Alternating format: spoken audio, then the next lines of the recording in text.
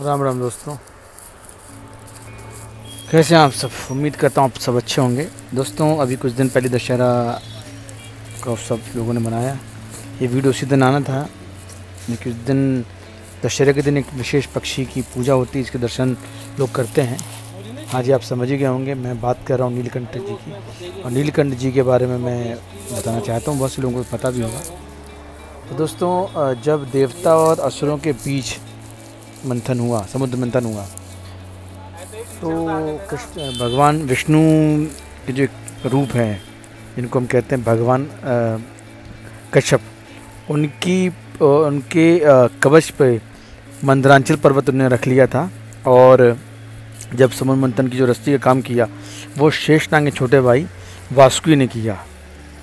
तो दोस्तों समुद्र मंथन आरंभ हुआ और उन्होंने अपने मंदारांचल पर्वत अपने पीठ पर रखा। तब सब में पहले समुद्र मंथन से जल, हलाहल विष निकला और उस विष की ज्वाला से सभी देवता और असुर जो है जलने लगे और उनकी जो कांति है, उनकी तेज है फीका पड़ने लगा। फिर सभी ने भगवान शंकर जी की प्रार्थना करी क्योंकि किसी चीज़ संभल नहीं रही थी वो। तो भगवान शंकर फिर महा प्रकट हुए और उन्होंने हथेली अपने जल पे लिया और उसे पी गए। लेकिन उन्होंने अपने गले से नीचे, कंठ के नीचे उसको तनने नहीं दिया। उस कालकूट विष के प्रभाव से विष शंकर जी का कंठ नीला पड़ गया। दोस्तों शंकर जी को जैसे आप जानते हैं शंकर जी को नीलकंठ भी कहा जाता है। वहीं से नीलकंठ पक्षी का जन्म होता है। और दोस्तों कुछ अ, अ, जो अ, अपना विष है शंकर जी हथेली से ट- हल्का सा निकल के पृथ्वी पर टिपक गया जो कि जिसमें नाग बिच्छू और आधे जो जंतु हैं उन्होंने ग्रहण कर लिया। तो दोस्तों इस प्रकार नीलकंठ का जन्म हुआ। दोस्तों इंडियन रोलर के नाम से मशहूर नीलकंठ एक लौता ऐसा पक्षी है, जिसे देखना शुभ माना जाता है और ख़ास तौर से दशहरे के दिन। आप देखते होंगे दशहरे में बाईपास में लोग जाते हैं या तो फिर घर के सामने जो बिजली तार होते हैं अधिकतर नीलकंठ जी वहीं बैठते हैं तो उनको देखते हैं और उस दिन उस दिन, दशहरे के दिन देखना नीलकंठ को शुभ माना जाता है। दोस्तों, अब इनकी संख्या जो है बहुत कम हो रही है। आप देखें तो शहरी आवास, आबादी बढ़ रही है। ट्रैफ़िक बढ़ रहा है पोल्यूशन हॉर्न कई चीज़ें हैं जो इन सब, इन पक्षियों को जो धीरे धीरे अब तक गौरैया भी नहीं दिखती हैं। हालाँकि नीलकंठ जी की बात हो रही है तो धीरे धीरे उनकी संख्या कम होती जा रही है। तो दोस्तों मैं बताना चाह रहा हूँ कि नीलकंठ रोलर जो प्रजाति होती है, वो नीलकंठ रोलर प्रजाति से संबंध रखते हैं। लेकिन अन्य रोलर पक्षी के रंग भिन्न होते हैं। नीलकंठ दक्षिण एशिया, भारत, इंडोनेशिया, इराक जैसे देशों में मिलते हैं। नीलकंठ पर्वतीय क्षेत्र में भी अपना निवास रखते हैं। ये प्रवासी इन पक्षी नहीं हैं, लेकिन मौसम के हिसाब से ये जगह बदलते रहते हैं। पर दोस्तों, इनकी संख्या में कमी आ रही है। दोस्तों, नीलकंठ का जो सिर और पंख होते हैं नीले रंग का होता है। गला जो होता है, हल्के भूरे रंग का होता है और आवाज़ कौए जैसी कठोर और कर्कश होती है। चोंच का रंग काला होता है।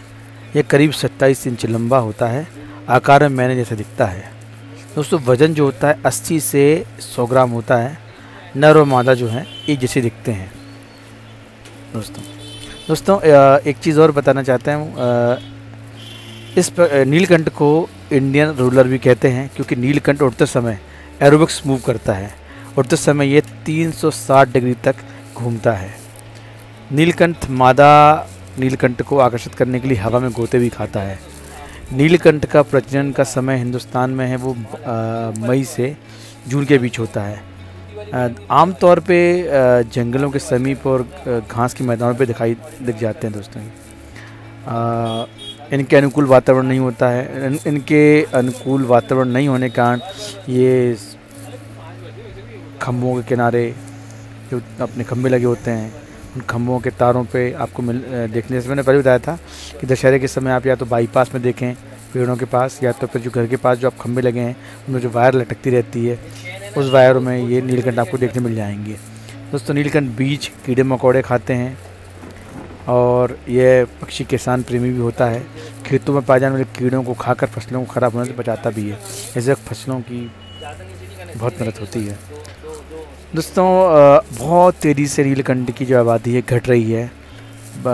एक तो क्या है, पक्षियों का सड़क के किनारे रहना और आए दिन ट्रैफ़िक की वजह से मर जाते हैं। नॉइज़ पोल्यूशन, ट्रैफ़िक पोल्यूशन और वहीं ग्रामीण और जंगली क्षेत्रों पक्षी को जो खेतों पर कीटनाशक छिड़कते हैं और उन कीटनाशक को खाने के लिए जब नीलकंठ दूसरे पक्षी जाते हैं कीड़ों खाने के लिए तो फिर वो कीटनाशक के कारण वो मर भी जाते हैं। और नीलकंठ पक्षी का जो औसतन जीवन काल होता है पंद्रह से अठारह वर्ष होता है। ऐसे में पर्यावरण पर्यावरण वालों ने जो बताया है कि वो प्रयास प्रयास कर रहे हैं कि भाई इन पक्षियों का और भी जो विलुप्त पक्षियाँ हैं पक्षी उनका जो है संरक्षण किया जाए, उनको बचाया जाए। इस चीज़ के लिए विशेष जो है ध्यान दे रहे हैं। पर हिंदुस्तान में तो आप देखते हैं कि जब जिस पक्षी को याद करते हैं, जैसे कि भाई इनको याद करा जाता है दशहरा में, तब नीलकंठ की याद आती है कि भाई दशहरे में देखना शुभ होता है और शुभ हो, करने के लिए इंसान किसी भी हद तक जा सकता है। तब नीलकंठ की याद आती है और तभी मैं भी वीडियो बना रहा हूँ, नहीं तो अभी तक तो वीडियो मैंने बनाई नहीं। तो मेन बात जो मैंने बताया, समुद्र मंथन में नीलकंठ जी का जन्म हुआ था। भगवान शिव को नीलकंठ कहा जाता है। भगवान शिव ने विष पिया था और अपने गले में रोक के रखा हुआ था कंठ में विष को और वो नीला पड़ गया था गला और फिर नीलपंथ की, नीलकंठ जी की उत्पत्ति हुई। और दशहरे में इनको देखना शुभ माना जाता है लोग दशहरे में नीलकंठ को के दर्शन करते हैं। और दोस्तों, इनका कुटुंबा बहुत छोटा हो रहा है। सभी प्रयास करें, हम प्रयास करें कि ये ऐसे जो विलुप्त जो पक्षी हैं, उनको बचाना ज़रूरी है, क्योंकि हम हैं तो वो हैं वो हैं तो हम हैं। बहुत ज़रूरी है इन बेजुबान जानवरों को बचाना, उन्हें पर्याप्त मात्रा में भोजन, पानी देना हमारी जवाबदारी है। और शिक्षा की बात हो गई कि छत पे पानी रखें, दाने डालें बाजरा डालें, गेहूँ डालें, चावल डालें और सभी पक्षियों का संरक्षण करें और नीलकंठ जैसे जो पक्षी जो विलुप्त हो रहे हैं, अगर दर्शन करने दशहरे में आपको दोस्तों। तो प्र- करके अपने घर में इन- इनको दाना पानी दें और इन्हें संरक्षित करें। धन्यवाद दोस्तों मेरे वीडियो देखने के लिए। अगर आप मेरे वीडियो में नए हैं तो please do subscribe my channel, share, comment and like. दोस्तों, आपका दिन शुभ हो मेरे वीडियो देखने के लिए। बहुत बहुत धन्यवाद।